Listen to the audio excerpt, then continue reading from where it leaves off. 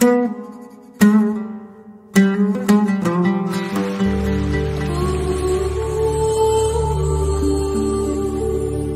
Subhanahu wa taala menurunkan wahyu kepada Nabi Muhammad sallallahu alaihi wasallam melalui malaikat Jibril dengan berkata, "Iqra."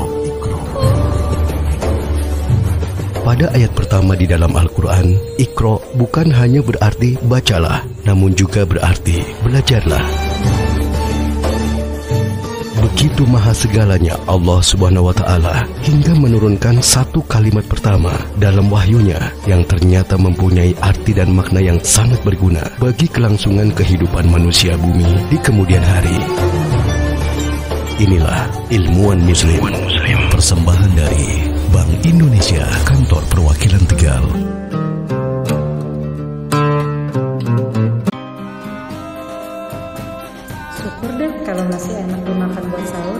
Tahun depan aku bikin lagi rendang kesukaan Mas ya. Makasih Ton. Ya, sama-sama. Wah, uangnya lecek nih Ton. Lain kali uang disimpan baik-baik Ton supaya nggak lecek kayak gini.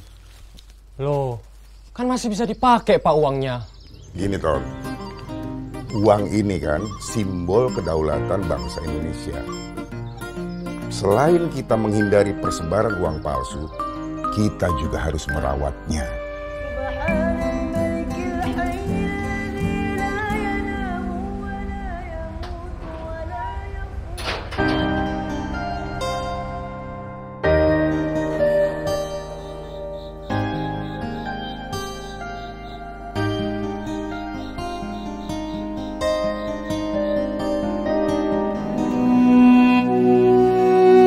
Abu Wafa Muhammad Ibnu Muhammad Ibnu Yahya Ibnu Ismail Busjari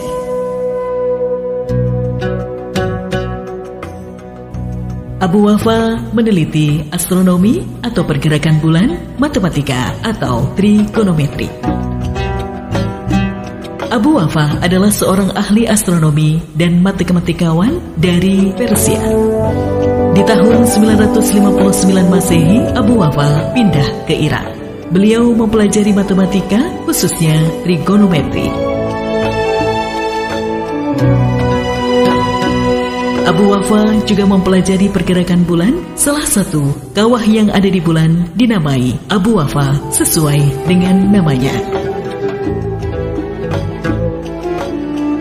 Salah satu kontribusinya dalam trigonometri adalah mengembangkan fungsi tangan dan pengembangan metode yang menghitung tabel trigonometri. Salah satu kontribusi dalam trigonometri adalah mengembangkan fungsi tangan dan mengembangkan metode untuk menghitung tabel trigonometri.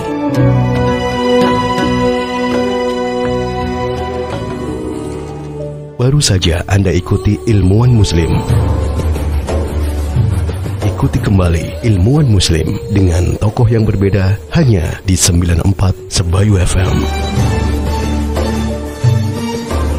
Ilmuwan Muslim, persembahan dari Bank Indonesia, Kantor Perwakilan Tegal.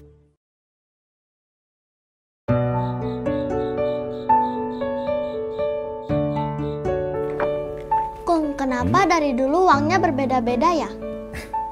Gini lucu, Indonesia ini kan dulu banyak kerajaan. Nah, setiap kerajaan itu mata uangnya berbeda-beda. Setelah Indonesia merdeka, mata uang itu menjadi tunggal atau satu dan itu menggambarkan persatuan bangsa Indonesia. Selain mempersatukan bangsa, uang juga mempersatukan kita loh. Assalamualaikum Bapak. Waalaikumsalam nak. Oh iya, lebaran nanti ke rumah kan? Soal itu kayaknya belum bisa pastikan lagi Pak. Soalnya Mas Surya belum dapat izin. Oh iya, enggak apa-apa nak. Enggak usah dipaksa. Ya udah. Assalamualaikum Bapak. Waalaikumsalam nak.